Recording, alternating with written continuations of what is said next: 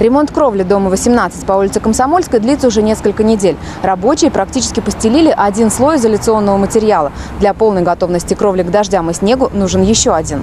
Специалисты говорят, что через две недели крыша 18-го дома по улице Комсомольской сможет выдержать любые капризы природы. Жители первого подъезда с нетерпением ждут, когда все работы будут завершены. Последний дождь был у них не только за окном, но и в доме. Вообще и, квартиры затопило, три квартиры и полностью затопило. У одних вообще дверь не закрывается, сырость там и вообще не понять чего. Даже до четвертого этажа вода дошла, с пятого до четвертого этажа.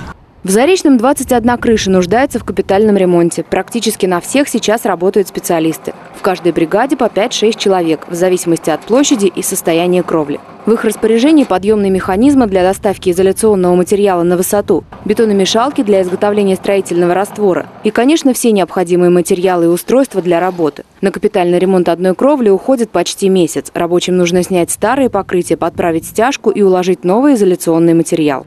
Капитальный ремонт, часть кровель, это порядка шести кровель мы делаем за э, найм капремонт, э, деньги, которые люди сдают на капитальный ремонт. А вторую часть мы делаем за счет э, субсидий э, администрации города.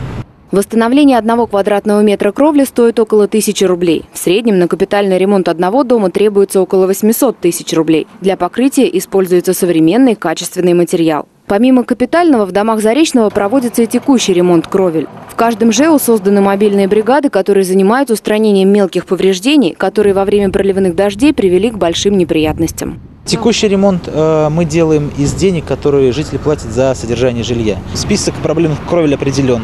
А сейчас идут э, работы по восстановлению. Все кровли, которые мы запланировали, мы обязательно сделаем. Все работы на крышах планируется завершить в течение месяца. Елена Степкина, Андрей Лешин, телерадиокомпания «Заречный».